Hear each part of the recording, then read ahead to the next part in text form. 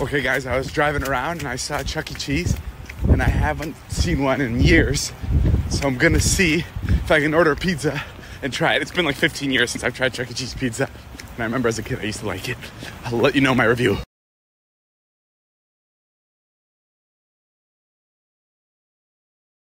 Okay, I have to wait for my pizza. I have some bad news. It looks like Chuck E. Cheese no longer does tokens, which is crazy. They just do like credit cards.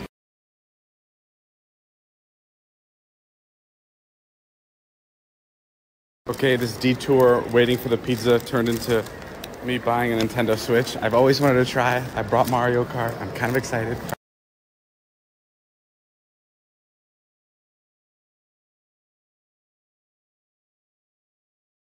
Okay, guys, here we go. Taste test Chuck E. Cheese pizza.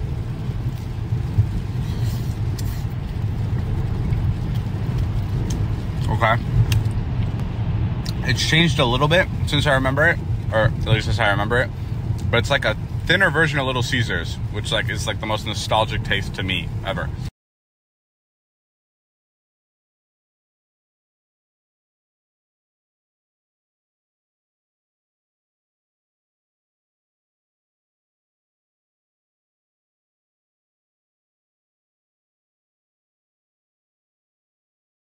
Someone hit your block up, I tell you if it was us. Man, a house in Rosewood, this shit too plush. Say my day's a number.